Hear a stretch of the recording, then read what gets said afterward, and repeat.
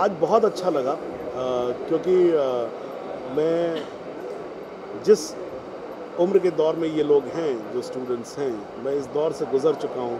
तो ऐसे में आपके बहुत सारे सवाल होते हैं आ, बहुत सारी उम्मीदें होती हैं बहुत सारे भय भी रहता है आपको कि भाई मैं बहुत फियर्स होते हैं बहुत सारे कि क्या होगा आगे जाके जीवन में क्या सही है क्या गलत है क्या करना चाहिए।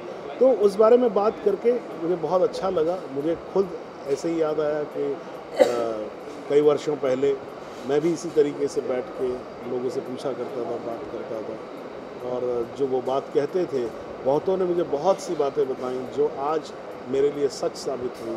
तो वही चीज़ें मैंने इनके साथ शेयर देखिए मैं बिल्कुल नहीं मानता कि एक फ़िल्म स्टूडेंट को बाकी स्टूडेंट से ज़्यादा स्ट्रगल करना पड़ता है। बिल्कुल नहीं।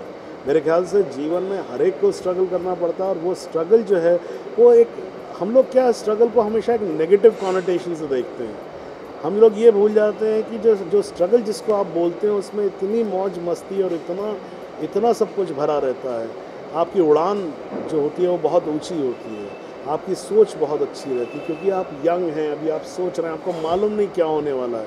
सही गलत क्या है? जब आप प्रोफेशनल हो जाते हैं, जब आप एक ढर्रे में काम करने लगते हैं, तब मेरे ख्याल से आपकी उड़ान भी छोटी हो जाती है।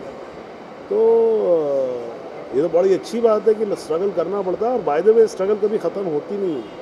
हाँ, जो भी रोल आएगा मैं कभी ये नहीं सोचता कि कौन सा रोल है जो मैं करना चाहता हूँ। मैं ये सोचता हूँ कि जो रोल मेरे पास आया मैं उसको कैसे करूँगा? ये मेरी जर्नी है। मैं कभी ये नहीं सोचता कि भाई मैं ऐसा कुछ मिल जाएगा वैसा कुछ मिल जाएगा